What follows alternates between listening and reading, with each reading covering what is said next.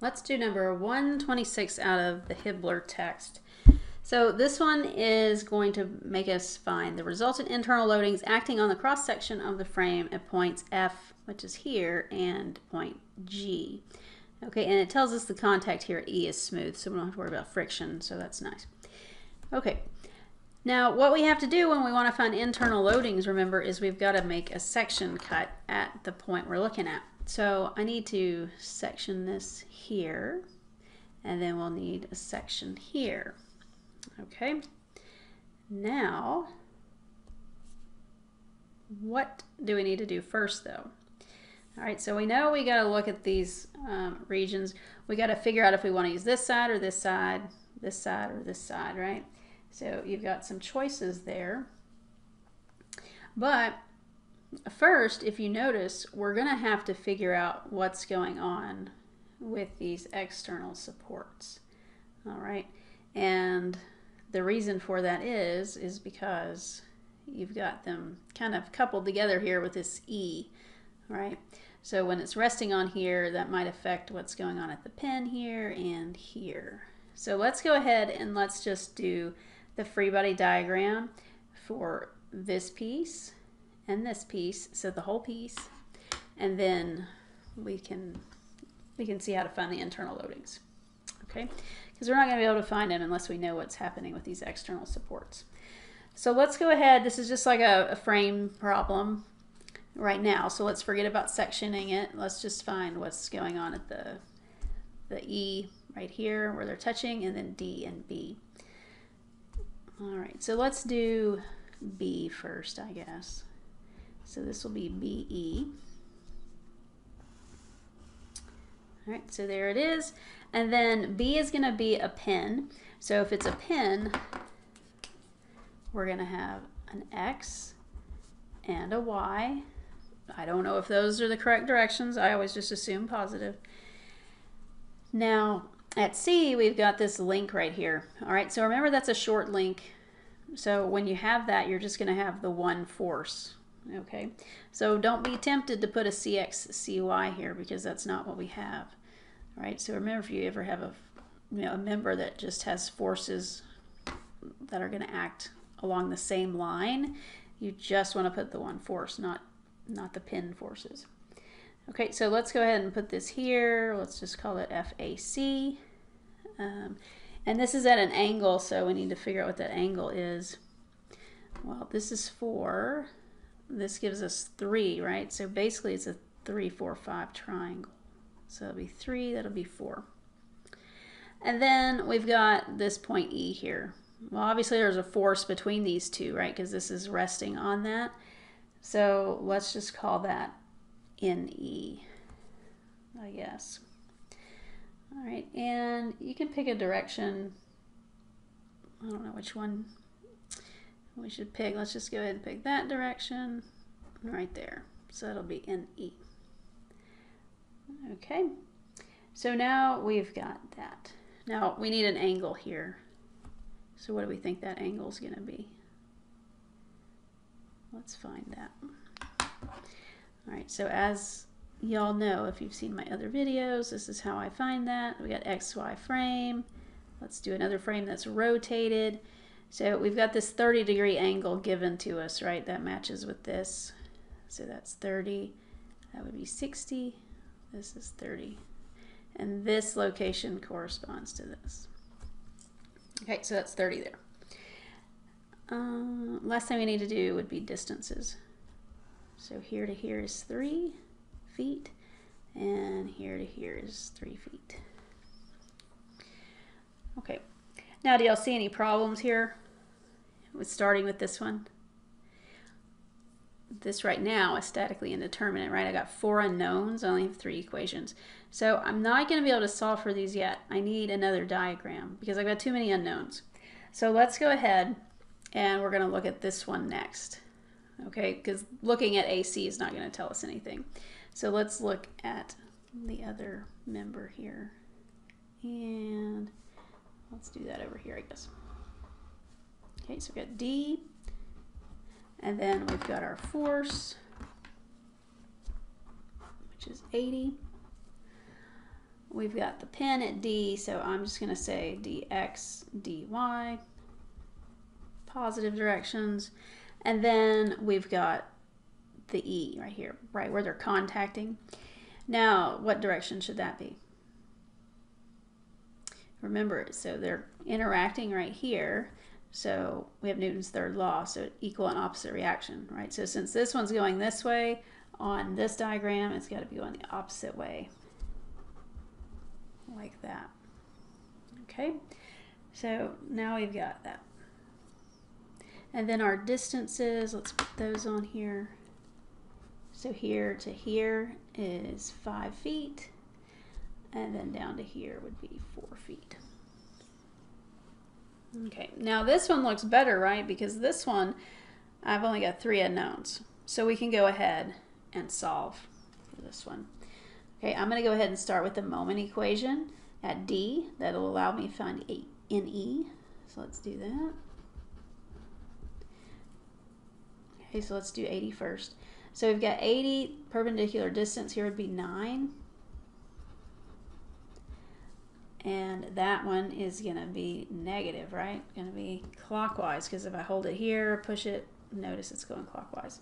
So that's negative. We've got NE, that's pushing in the opposite direction, right? So that one's going to be positive. NE and distance there is 5. All right, so NE then is going to be the 80 times 9 over 5. Let's see what that is. 144. That'll be pounds. Okay, so we've got that positive number, so correct direction here. Now we have that. Let's go ahead and mm, we don't even really need these dx and dy, and I'll show you why in just a second. So Let's just go ahead and copy this value over to here. Now we can solve this one, right? Because now I've got three unknowns, three equations. So let's go ahead, do a moment at B.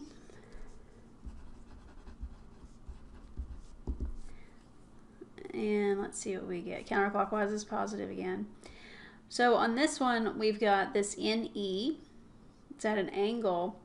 So the only component I need to worry about though is the vertical component, right? So that would be this one because the x component goes right through b. So we just need that vertical y component. So that equation for that would be 144 sine 30.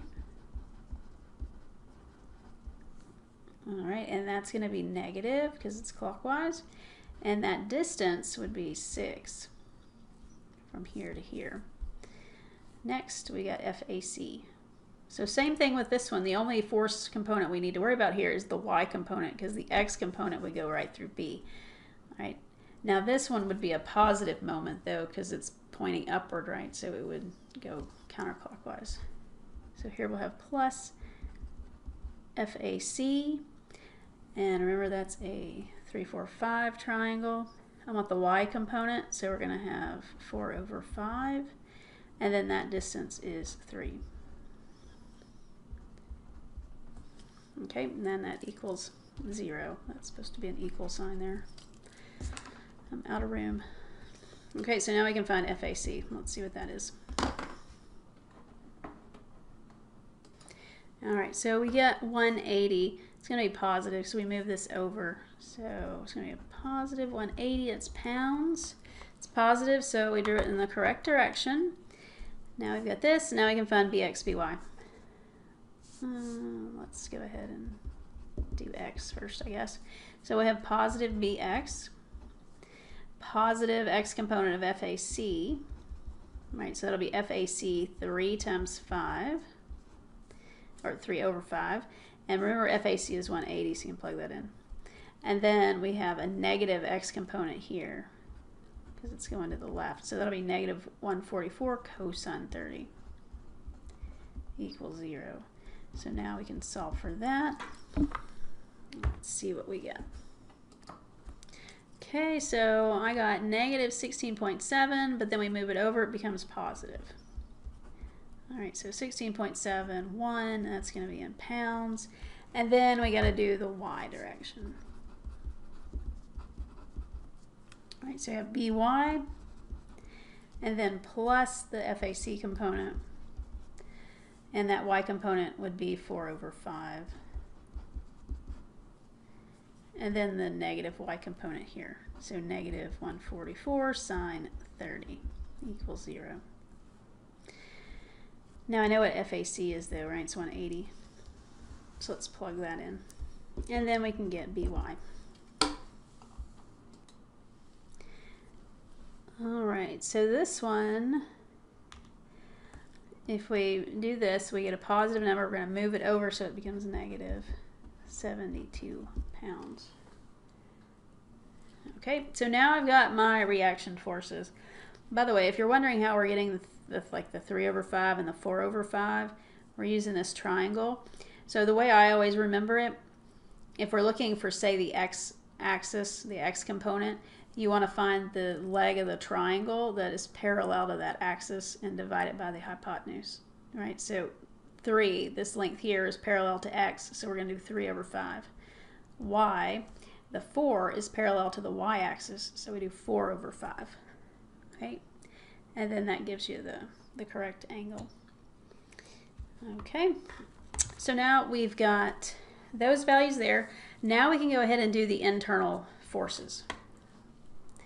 And let's go ahead and start with F. Okay, so remember I said over here, I was like, we don't even need to find those, so let's not bother with that. The reason why I said that is because we can either choose to do this section or this section. All right, well this section doesn't have as much stuff, right, because we don't have this E point, we don't have D. So if I use this right section right here, I don't even need to know what's going on at D. And that's why I didn't need to solve for those. Okay, so let's choose this section here because it'll be easier. Less, less equations to deal with. Okay, so let's draw this out. So we have 80 pounds, which is external. And then let's make the internal ones pink. So we're going to have a normal force that's normal to the cross section. I always draw it going out. We're going to have a shear all right, so let's just say it's this way. Um, and then we're going to have a bending moment. So let's just call it MF. Okay, so now we've got that. And then at this point now, it's just like an equilibrium problem. All right, and this distance here is two feet.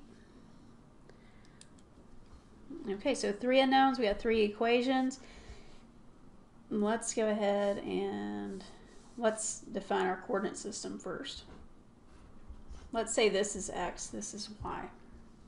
That'll be easy. Okay, so let's look at the x first. Okay, I got positive v, negative 80. Those are going to equal 0. All right, so v then at point F is 80, and that'll be pounds. So it's one of your answers. Now let's do the y direction. The only thing we have here is n, right? So n has to equal 0. So that was easy. And then finally we got your moment. So let's take the moment at point F. That's positive. Remember this is point F right there. And with that one, the, the V and the N we don't need to worry about. We do have this bending moment here. We have to put that in. I assumed it was positive, so let's add M sub F. And then we have the moment due to the external force of 80 pounds.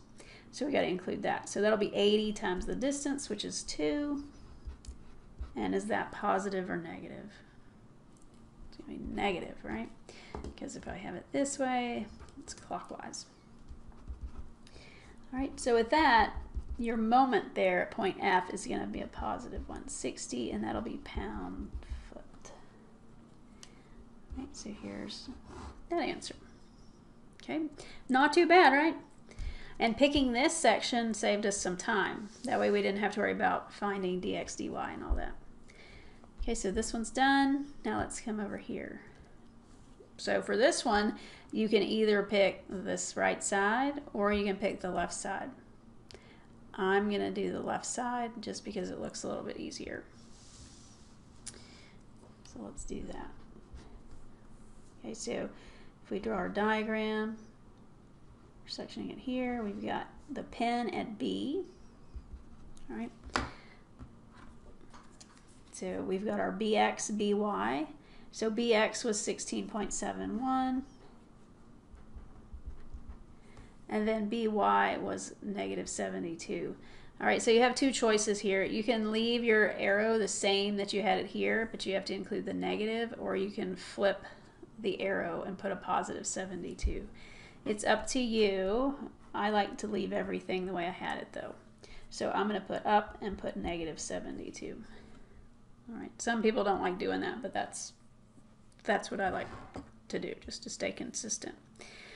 Okay, so now we've got this, and then now let's do the internal loads. All right, so we have N, we're gonna have V, and then let's do the moment.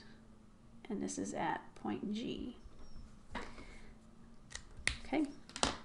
Now this one, we have our standard XY system, so that'll be good.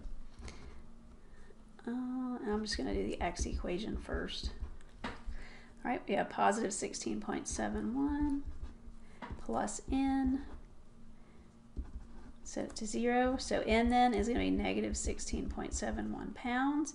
Negative just means I drew this in the wrong direction. Okay, so really it's kind of, it's compression here. It's pushing in. All right, and then let's do Y. So I've got the negative 72 plus V equals zero. So shear then is a positive 72. So we did the right direction there. And then finally we need our moment. So let's take the moment at G. Or in this case, you could take it at B. They both have two unknowns, two forces going through them. So either one would work. Um, we got to put this mg in here. I assumed it was positive. And then the only force we need to worry about is the 72. Okay, so this distance, we didn't write that down, 1.5 feet. Okay, so it's going to be negative. So it's a negative moment, but the force is negative 72, and then the distance is 1.5. All right, so this becomes positive, you move it over, it becomes negative, and then we have 72 times 1.5. Helps to put in the right number, so it's 108. All right, so 108 pound Negative, that's because it should be going clockwise. Okay, so that is how you find those internal loads. Okay, hopefully that makes sense. So it's basically just kind of like a frames and machines problem from statics up here. And then once you get in here, you just look internally. The key though is you want to pick the easy side for your, your section, right? So this side is going to be easier than this side. All right, so always take a look at your choices and pick the easier one. Otherwise, you're going to spend time doing equations you don't really need to do. Hopefully y'all like that one. I will see y'all next time.